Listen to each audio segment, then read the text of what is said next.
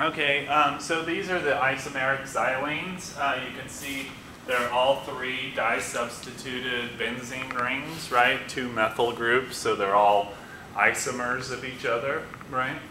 So, um, structural isomers. Uh, if you want to um, look though, you all you should notice that of course they're all different compounds, right? Because their structure is different. That's the structural isomer, right? Um, so these disubstituted benzenes, they all have different names.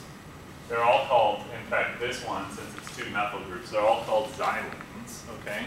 But the position of the two uh, substituted groups on the ring uh, describes more of the name, okay? So um, the name, if you've got uh, the substituents in the one, two position, is called um, ortho.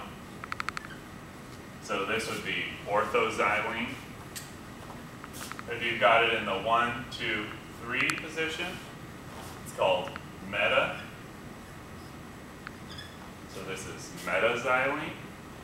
Another, uh, you could also call this O-xylene or M-xylene. Okay. Um, and if you've got them across from each other or in the one, four position, we call that para.